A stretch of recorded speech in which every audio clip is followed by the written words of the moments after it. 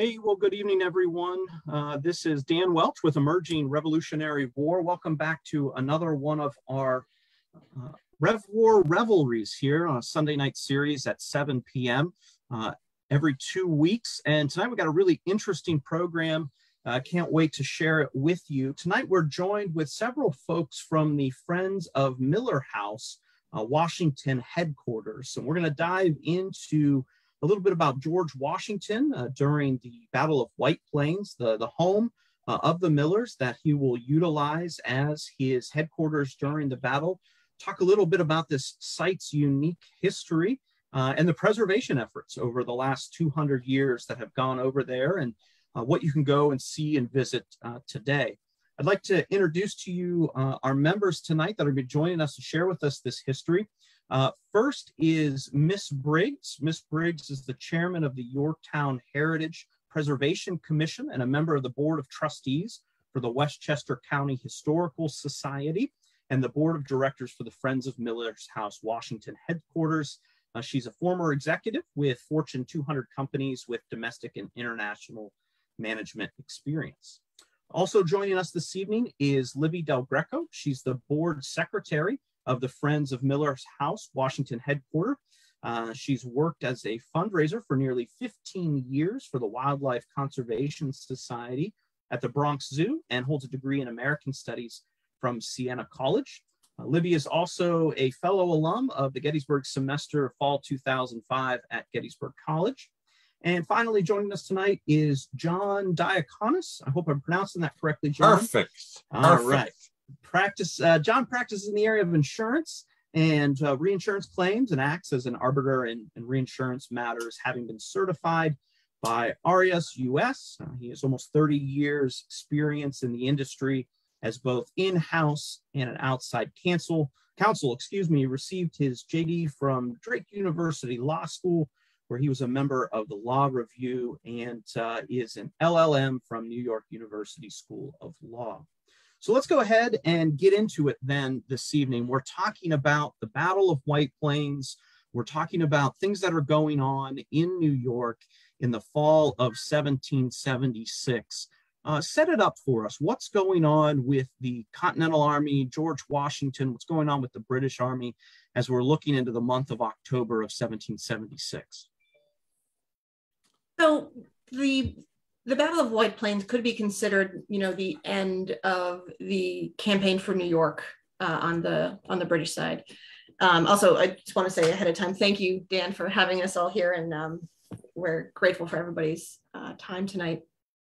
So, the uh, the New York campaign, of course, started in the summer of 1776, and I'm not going to you know, bring everybody through the details about the Battle of Long Island, Kips Bay, Howe's movements up the Hudson, and the like. But suffice to say that towards the late summer to early fall of 1776, Washington's army, as most of you know, was in a general retreat into um, what is now Westchester County as Howe's army made their way into the city and upriver. Um, at the suggestion of General Charles Lee, Washington decided to direct his armies to White Plains to effectively set up um, entrenchments because there were a series of natural hills in the area which could uh, serve as natural defense sites. And also the city served as a continental supply depot for materials that were coming into the army to New York uh, from New England. So that's what brought him to White Plains at the time. Uh, upon his arrival, Washington set up entrenchments in the high grounds on the east and west banks of the Bronx River. I'm just gonna share um, a quick image here to help illustrate what I am speaking about. Okay. Um, so like I said, entrenching in the high grounds on the east and west banks of the Bronx River, which is effectively here. Um, he got to White Plains a few days before the British did. The British were waiting for more Hessian reinforcements at the time. So he had, and his troops had a good amount of time to really dig in and set up. So around October 22nd, they arrived and created these um, entrenchments. Uh, the one of particular interest is on what we call Chatterton Hill to the southwest uh, in this area. When the British did arrive in the area on the 26th, uh, they attempted three attacks on Chatterton Hill. First two had minimal impact and might be considered unsuccessful, but the third was an attack on the right flank of the forces on Chatterton Hill, which drove the Continentals into a retreat. They retreated up what we now call Broadway, up this way, and entrenched themselves again on what we call Miller Hill and Mount Misery. Um, Howe's men attempted a small engagement against the forces that were entrenched on Miller Hill, but it was unsuccessful and eventually retreated back to New York City with its forces. Um, the Miller Hill battleground, as we call it, is actually one of the only battlefield sites in Westchester County that is still in its natural state. Um, the reason why this is important to me and my colleagues here on the board is because of this house, the Miller House. This house sits at the foot of Miller Hill, and it was owned by Anne and Elijah Miller. The house was built in 1738. It predates the American Revolution, obviously, and it stood on the same site for nearly 300 years. And we happen to know that this site was a headquarters for Washington, at least in what we consider the latter half of the Battle of White Plains um, after the initial retreat and then the, the second stand.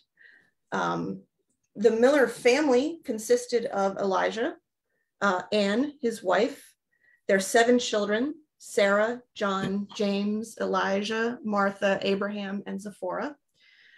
Uh, sadly, before the end of 1776, even before the Battle of White Plains, Anne and the family had suffered three significant losses. Her husband, Elijah, was killed at Hell's Gate in um, August of 1776, and her two um, her two sons, John and Elijah, died of fever in camp in the summer of 1776. So when Washington and his men arrived, it was a female-run household, which we find really very interesting, um, and something that we we try to promote through our, um, our scholarship of the house.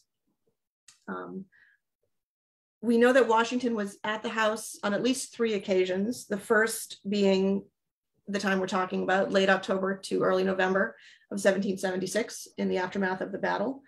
In 1778, when the armies encamped at North Castle again, and then a final time in 1781, when French troops joined Continentals who were encamped in the area of White Plains before they began their march south to Yorktown. Um, These facts are recorded in a family history taking, taken by um, Zephora in 1845. Zephora stated that she recalled Washington being in the house. She recalled her mother actually giving up her bed, the only time she had ever done so for Washington when he stayed overnight. She recalled Generals Lee, McDougall, and Gates also being in the house from time to time, and specifically recalled General Lee's advice that the family evacuate the home prior to the Battle of White Plains because they would have a troublesome time uh, if they stayed.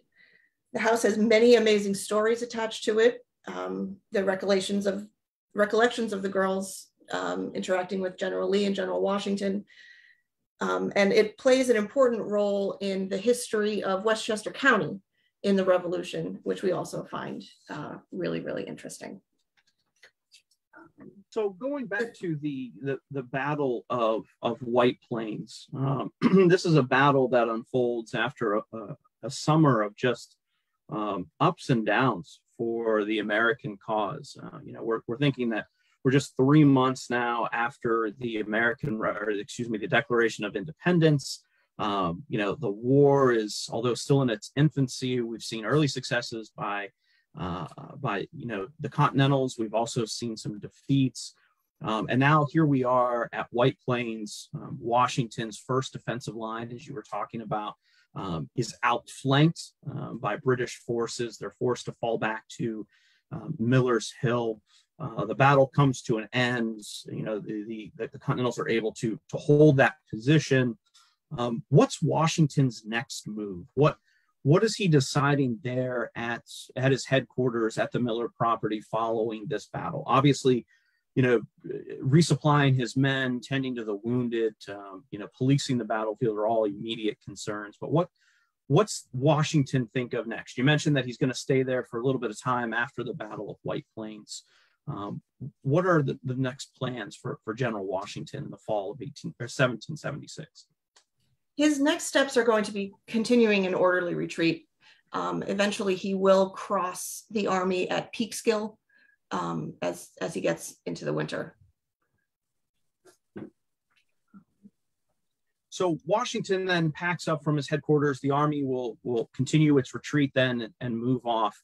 What what happens to you know this property? You talk about the Miller House. You talk about all these other moments in the American Revolution where armies continually find themselves, commanders continually find themselves back in this particular part of, of the county. What makes this such a critical route, if you will, uh, in this area of New York that we're seeing a lot of activity, both from the Continental and British soldiers uh, in the vicinity of White Plains? I think in uh, in general, Washington's overall strategy being to, um, well, in response to Howe's strategy to cut off the, the northern colonies, Washington knows how critical the Hudson Valley is um, how critical protecting the Hudson Valley is and the connection to the New England colonies. Um, at this time, there's there's so much Revolutionary War history in Westchester, you know, and uh, the Hudson Valley, including West Point, um, including um, everything we know about the John Andre affair. This is this is a hotbed of um, of interesting stories, and one of the most interesting parts of it is that the Hudson Valley, it was considered considered neutral ground there because it was so close to New York and so close to the New England colonies, you had loyalists and you also had rebels, if you will, often in the same town. Um, so as much as they tried to, to trumpet neutral ground, it was really a hotbed on either side. Um, and I think that breeds uh, drama. And I think it also breeds um, change, and uh, with change comes stories. So I, I think that's um, that's why so much happened there. I, one of the other, I think one of the other reasons that they that the uh, Patriots congregated at Miller House is because it was safe. It, it was it was it's very high up on on a hill, and you look down on the rest of uh, of White Plains, and I think it's it, it's it's a, it's a safe place, and I think that's why uh, Howe retreated because he didn't think he would survive. You know, just uh, could you, Libby, could you go back to um, sure the the the the first slide with the with the map of uh, White Plains? As uh, those of you watching as, as we pull up yeah. this map again, uh, you know, feel free ask any questions in the chat uh, for our panelists this evening as we go through the program. Uh, a lot of new, interesting uh, stories we're going to hear this evening that you might want to know a little bit about. But I, I send it back now to John to talk to us a little yeah. bit more about uh, the uh, geography at White Plains. Right. Well, exactly. So if this is Chatterton's Hill that uh, that Libby referred to, and that was one of the battles that were there. And I think after the third charge, the British took it over the uh, there is a uh, and this is the Bronx. I think the Bronx River is is here. There's a, a right now. If you visited the White Plains, there's a a uh, there's a, a, a, rail, a train rail here. It's called the the uh, Harlem line. It goes literally straight up this way, straight up. So it, it's to the right of Chatterton's Hill and there's this is Main Street of White Plains. You probably can't see where I'm, where I'm pointing, but if you that red those red that red area is is um, is Main Street.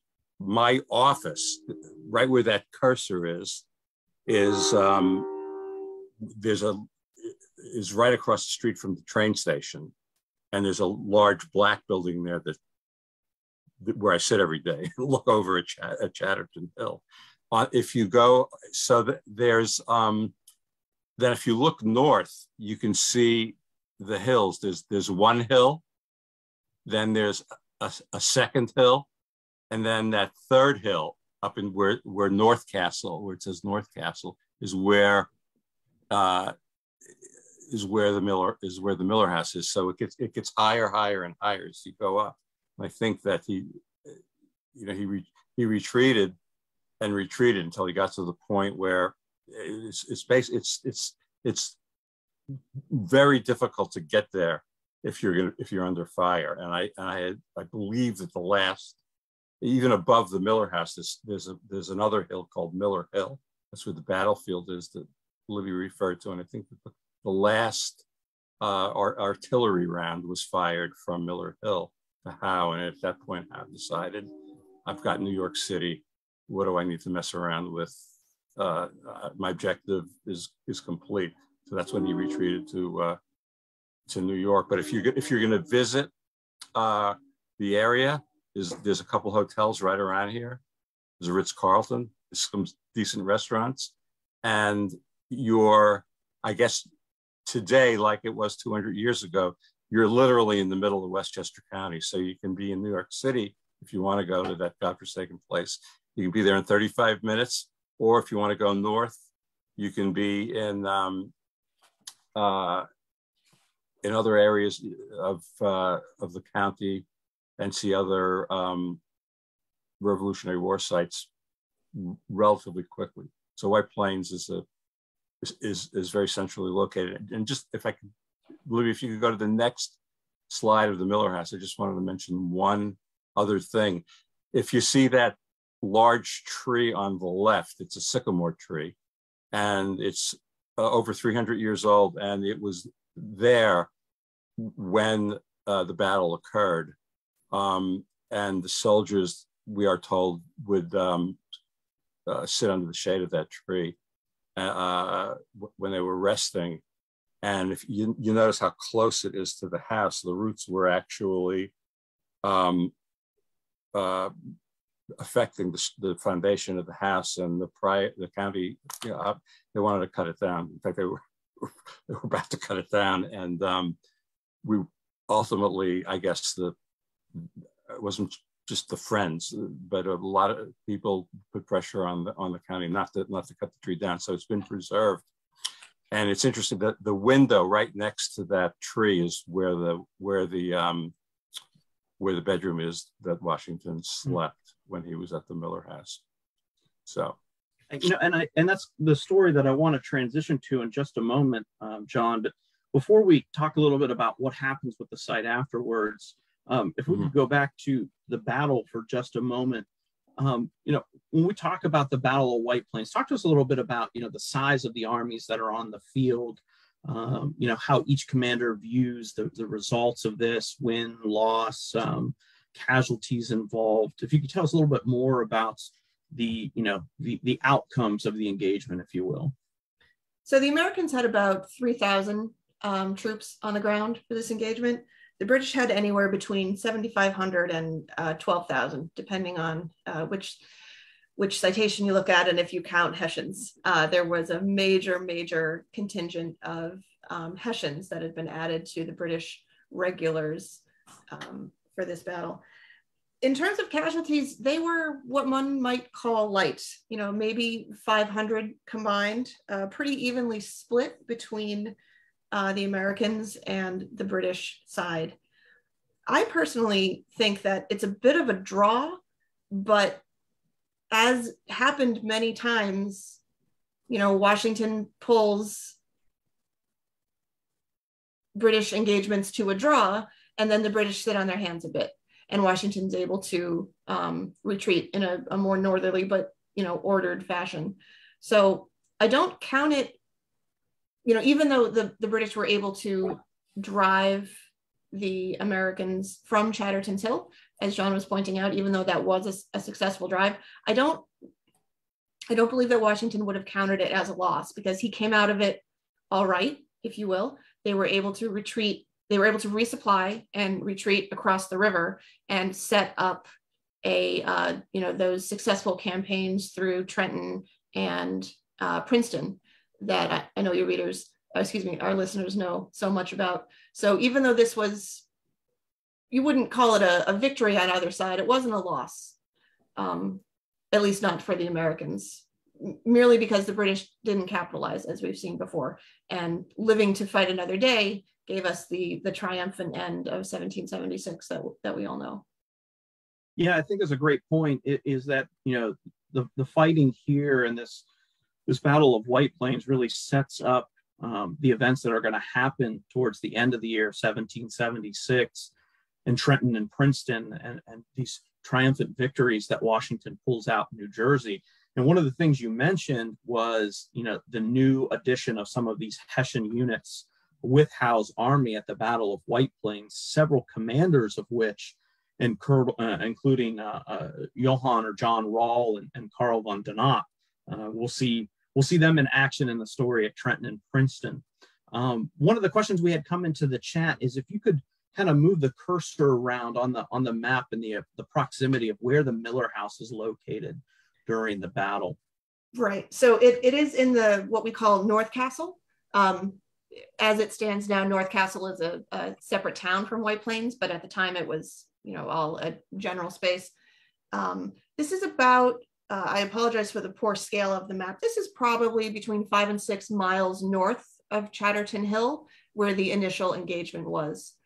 Um, there's a lot of very interesting, I'll call it debate in Westchester County over the, the headquarters for Washington during the battle. There is a house that was located very close to uh, the Chatterton Hill area. They call the Purdy House, and um, you know, there's a lot of a lot of debate that you know the Purdy House was really the headquarters because that's closer to the main engagement my personal interpretation from what I've read and from um, commentary that I've read is sure, Purdy was probably a headquarters in the early days, October 22nd, 23rd, 24th, when Washington was understanding the layout of White Plains, when he was understanding where he wanted his men entrenched. But then as the engagement became evident that the British were marching more north um, from uh, New Rochelle. I don't know if anybody knows the Westchester area, but they came up via New Rochelle from the eastern side of the county as that, um,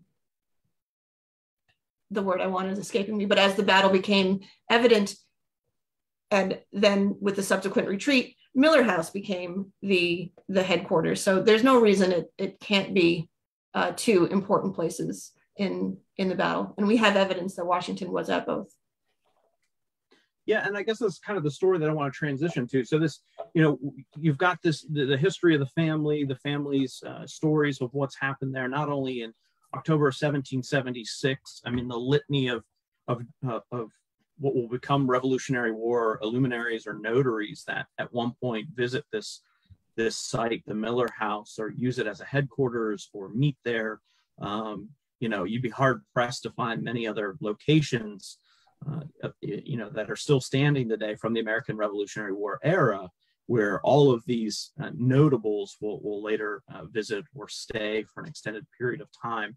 So that's kind of the story that I want to transition to now. The battle's over. Um, Howe pulls back. Washington uh, is is getting ready to move as well as it's moving towards the early days of November of 1776.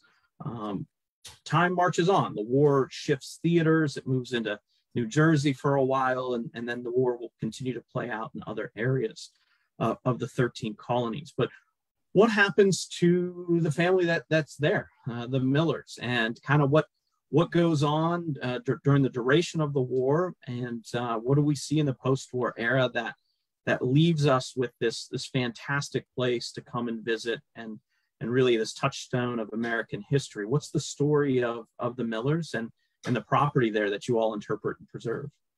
So the, the Miller family remained on the property. Um, Anne, uh, uh, Elijah's wife, she lived in the house until 1819 uh, at, at her death, and her eldest daughter lived in the house until 1838.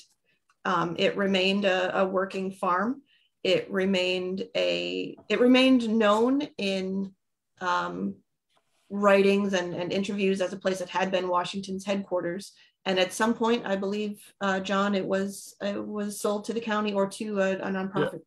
The Daughters of the American Revolution, the AR, acquired it uh, at some point. Uh, like and operated it for many many years until 1917, uh, at which point they sold it to the county, and um, I guess after the war, the um, well during the war it was used uh, aside from being a place that uh, uh, that other officers met uh, and uh, was apparently a very strong woman and she uh, allowed the house to be used as a, as a hospital for people that were for soldiers that were injured. And I we also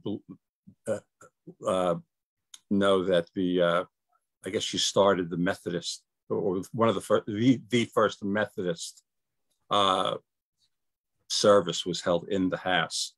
Um, uh, so th those were two two other notable events that occurred uh, during the war and shortly shortly thereafter. But the county county acquired the house in 1917 from DAR and has owned it, owned it since then.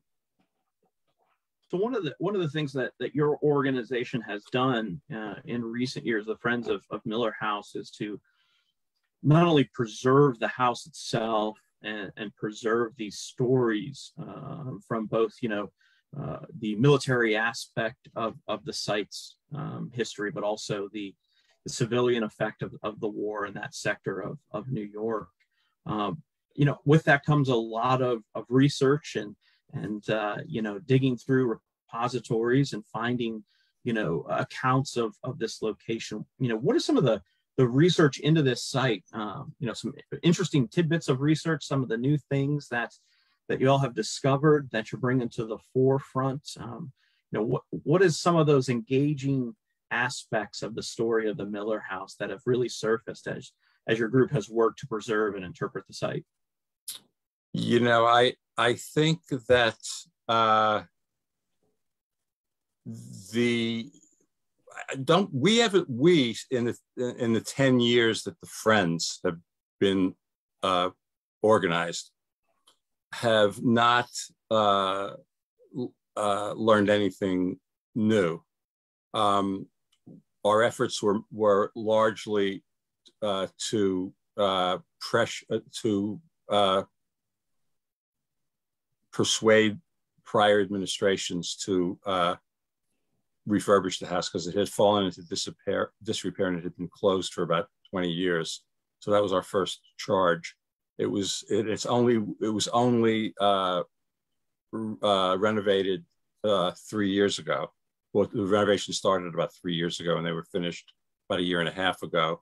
Uh, the house was open for a brief period of time, um, and then it was closed due to COVID. So our second role, uh, now, now that the house had been renovated, it was to assist the county in doing programming.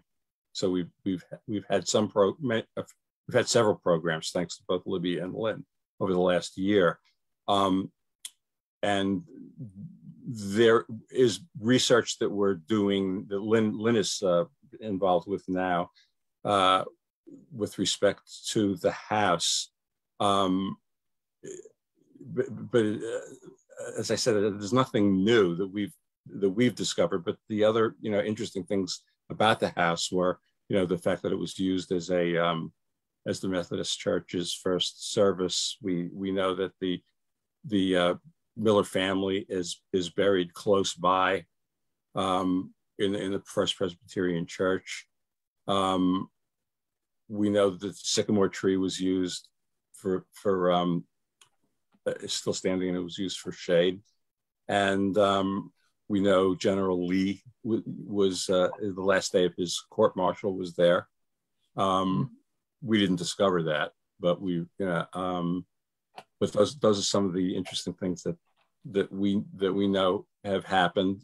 Uh, and the house was mostly uh, post 1917 used for, uh, as a school as a destination for school trips for, hmm. for kids, and um, where they learned you know the, the, names of the family members and what had happened there, and that's another thing that we hope to get going again.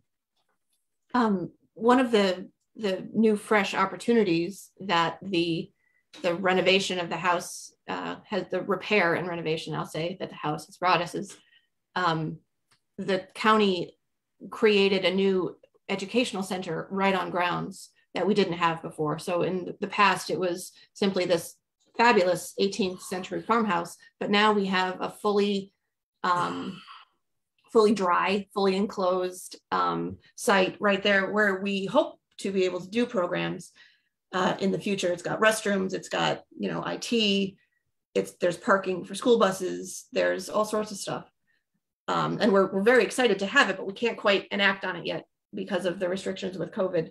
But one thing that is really feeding what we're going to be able to do at the house is the work that Lynn has been doing with our partners at the Westchester Community College. Um, their historical interpretation certificate, is that what it's called, Lynn? Has been yes, doing thanks, some, uh, some pretty cool stuff. Yeah, thank you, Libby. Um, we discovered last year a new, what I'll call specialty offering. It's called the Historic Preservation Curriculum at Westchester Community College.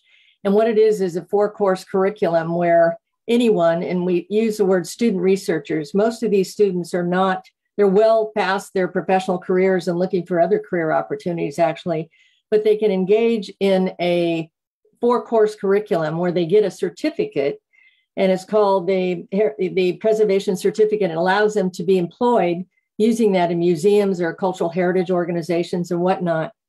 And we've had the good fortune to partner now with six of those students. And um, we've done all kinds of things like build landmark applications and build the history of potential landmarks too, for example. And John talked about this. One of the students we had did an artifact analysis of uh, the things that were in the Miller House during Washington's uh, and Mrs. Miller's occupying it during the Battle of White Plains. So they presented she presented it recently to the miller house and a broader audience of people. So um, what we intend to do and one other thing we're doing which is quite interesting is um, we're working on i think i told you earlier dan that uh, we have an effort underway a, a sub initiative under revolutionary westchester 250 which is to really understand the whole andre arnold treason affair. And two of these students are literally going community to community and there are probably 30 of them involved and assessing what physical markers may be in those communities and what was the historic event that was part of the Andre Arnold affair. And we're doing this inventory of those cities, their communities, I should say, with an eye toward saying, all right, what's there, what's not, and can we get an integrative uh, network of, of physical objects together to pull together the whole Andre Arnold story. So with an overlaid audio digital tour, you can start you know site one and go through all the whole set of cities in the end and understand what happened in each place and what was the point of interest. So that's one of the things that we would love to maybe tee up with you and see if there are collaboration or research opportunities through this mechanism we have in place. And maybe there's an opportunity to further build out um, content at your site or our, our sites maybe there's an opportunity to drill down on certain personalities or people involved in this. For example, we, we really want to have a better understanding of the enslaved uh, who are involved, Native Americans, and uh, a lot of the personalities, just because I'm pre- a little prejudiced right now, to the Andre Arnold story, the women, the children who were involved in those efforts. So that's what I wanted to tee up with you. What are your thoughts on where you think we might work together in terms of either content or personality or research or writing. We love the idea to be mentored by any of you in writing, especially being able to take what we're learning and build you know pieces of literature for it or publish it in various venues. So let me pause here and get your thoughts on this. Well it it's definitely sounds like there's a lot left of the story to to uncover up there. And i know we've got some folks that were uh, commenting at the beginning of the program from where they're from that might want to to to reach out and get involved with uh, all of your exciting research going on out there. I do need to pause for a moment. We have some questions that have come in that I want to uh, to pose to the panelists. One of the questions that came in is in regards to uh, Washington's operations uh, up in White Plains.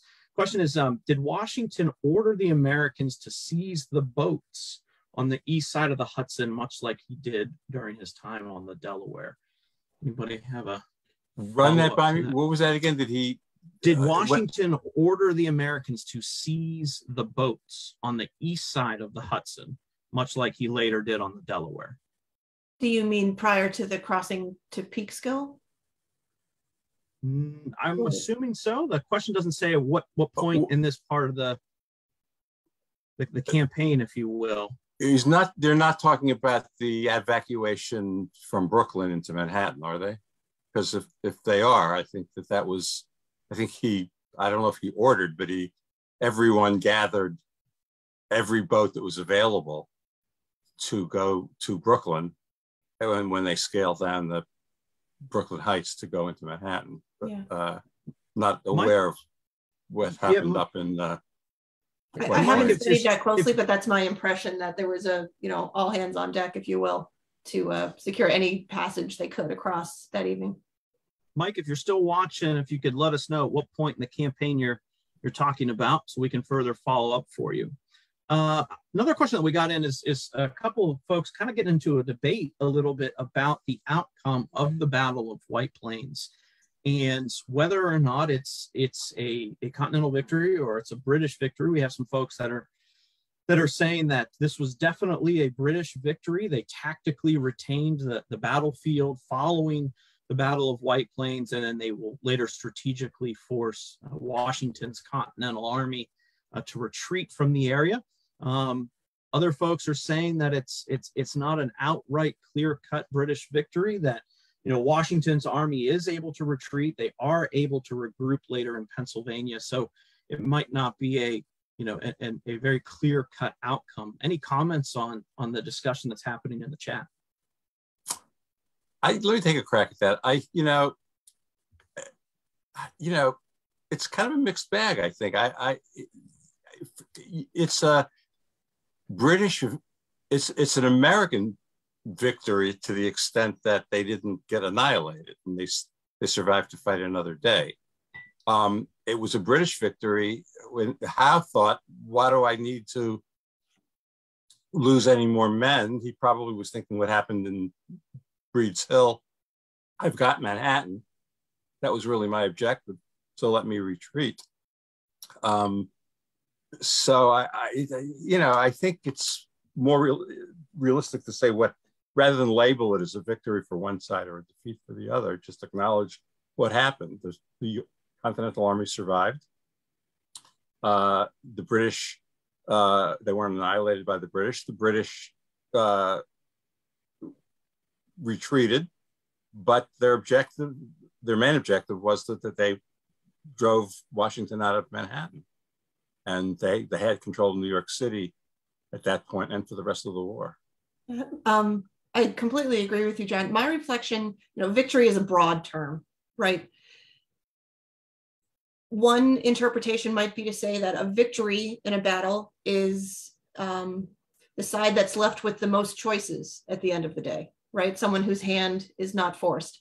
If you take that, you know, definition, then maybe maybe it's Howe he could have pursued. He elected not to. He elected to, you know, as John said, cut his losses and understand the the benefits and the strengths that he still had whereas washington only had one way to go.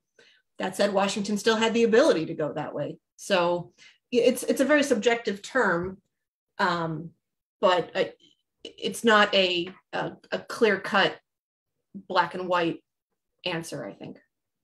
Yeah, uh, in the, the discussion going on right now in the chat, I think is is really interesting, talking about how historical hindsight ties into that, right?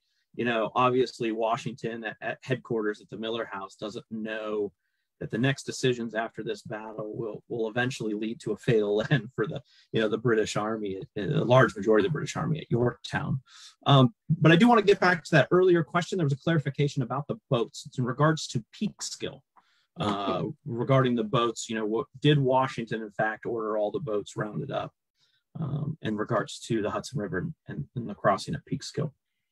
Um, i don't know the answer to that i i haven't uh, done any reading about that particular crossing um, lynn john have have you I don't, I don't know the answer to that question either. No. That's an interesting one uh, that you've, you've got our panel tonight, Mike. I appreciate the, the question. We'll have to dig deeper into that and see uh, if, if Washington does indeed order the boats seized. Uh, one of the things that uh, I think all of uh, your work at the, the Miller House has really done is, is to highlight, um, you know, this this small but important moment um, in 1776. You know, not only are you interpreting this particular site, this this headquarters facility, the home of these people throughout the war, but um, being able to uh, get it open again for folks to come and visit. Um, you know, Lynn was talking about the, the number of opportunities to continue to research uh, the campaign and the battle around White Plains, uh, as well as for many of our audience tonight, the huge amount of interest in the, the Andre Arnold story that is taking place in your county and, and in around this area throughout the war. How do folks get involved? How do we get to your site? Um, how do we hear more about the story? How do we get involved? Well, let me, at the, there's a Revolutionary Westchester uh, website, number one. There's a Revolutionary Westchester org site, Facebook site. So, and then we have two Miller, we have the Facebook page for Miller House and a website for Miller House. But short of that, you can email Libby and or John or me. And uh, I think you've got our email addresses and we'll try to directly contact whoever's interested to work with them. I'd love to talk to Billy Griffith um, based on our earlier conversation and see if we can't hook up. So uh, there you go. Oh, and we'll give anybody who is on this, if you can prove that you're on this uh, Zoom, we will we will give you a personal tour of the Miller House. We'll, we'll get it open and we'll take you through the house. Uh, we'll even take you out for a beer afterwards. There's a couple bars that are close by. Um, those, those, of us that have been with Emerging Revolutionary War for a long time, we are a, a fan of, of going out for beers and talking oh, history. So there you go. You, so you, uh, you can't pass up uh, a better opportunity to, to get with these folks, learn a little bit more about the battle, uh, the Miller House. There's some ways to, to get in touch with those folks. I, I want to thank uh, all of us uh, panelists that were here this evening, Libby and Lynn and John, for all the work that you've been doing to, to preserve this location, to preserve this story uh, so crucial in the fall of 1776. Uh, join us for our next ERW Revelry just two weeks from now on December the 26th. We're going to do a kind of a unique program. We're going to do a live watch party of the movie The Crossing. So you can see uh, legendary mm-hmm. Jeff Daniels as uh, George Washington. Watch it with uh, us live. We'll have our historians, uh, Kevin Pawlak and Mark Maloy, uh, on with us, commenting about the, the historical accuracies or inaccuracies of the film. Uh, you may even hear some of our historians quoting uh, word for word some of their favorite scenes throughout. So uh, we'll see you all again in two weeks on December the 26th at 7 p.m. In the meantime, everyone have a safe, happy, and healthy holiday season. Thanks again. We'll see you real soon. I'm Dan Welch with Emerging Revolutionary War. Have a good evening. Thank, Thank you, Dan. You.